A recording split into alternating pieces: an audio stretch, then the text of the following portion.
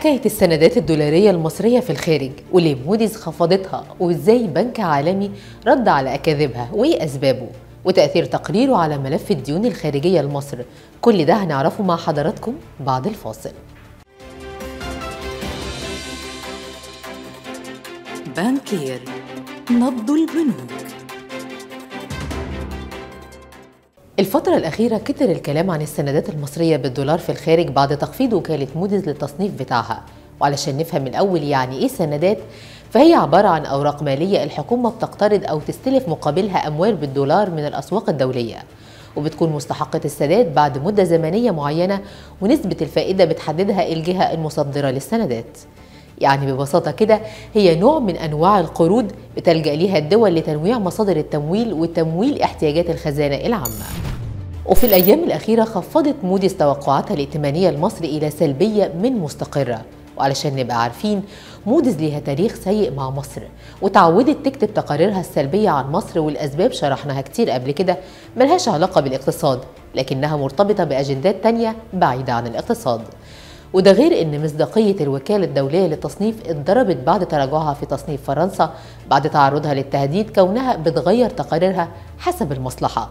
وبقت أداة ضغط على الدول وليها سوابق كتير مع دول ضرت سمعتها ومصداقيتها بسبب التقارير المسيسة. وفي دول رفعت عليها قضايا دولية وكسبتها بسبب الضرر اللي حصل عليها نتيجة التقارير الموجهة.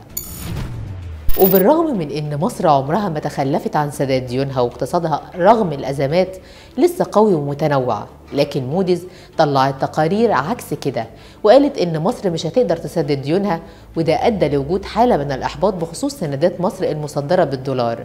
لكن بنك عالمي وهو جولدمان ساكس طلع من ساعات ورد على موديز وقال إن تقريرها عن تخلف مصر عن سداد ديونها مبالغ فيه وإن مصر قادرة على سداد ديونها ومش هتتخلف. وزي ما إحنا عارفين جولدمان ساكس ده مؤسسة مصرفية وبحثية عالمية. ومش بيقول أي كلام وبالعكس ده طالب أو حث المستثمرين على الاستثمار في السندات المصرية لأنها مربحة.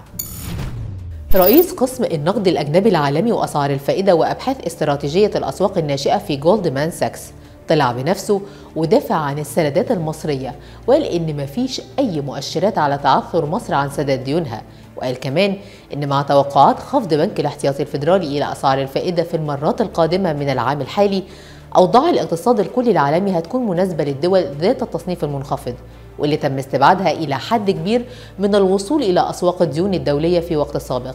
وإن الوضع الإيجابي بدأ في الظهور لدى بعض الاقتصادات الواعدة وأظهرت السندات بالعملة الصعبة زخما إيجابيا جيدا للغاية. وبينها مصر ومن المحتمل يكون في اتجاه صعودي لدى فئة سندات الدول التي تواجه صعوبات مالية ومنها مصر. وفي نفس الوقت قالت كبيرة مسؤولي الاستثمار للدخل الثابت في مؤسسة بيكتت إن حاملي السندات يقدروا يحققوا عوائد عالية في خانة الأحاد عند التعرض للأسواق النامية زي مصر واللي بتتمتع بدعم متعدد الأطراف. وده بيورينا قد إيه التقارير الموجهة ممكن تأثر على الاقتصاد المصري وحجم التحديات اللي بتواجهها الدولة المصرية بسبب مواقف سياسية ملهاش علاقة زي ما قلنا بالاقتصاد. تحياتي لحضراتكم وإلى اللقاء. بانكير نبض البنوك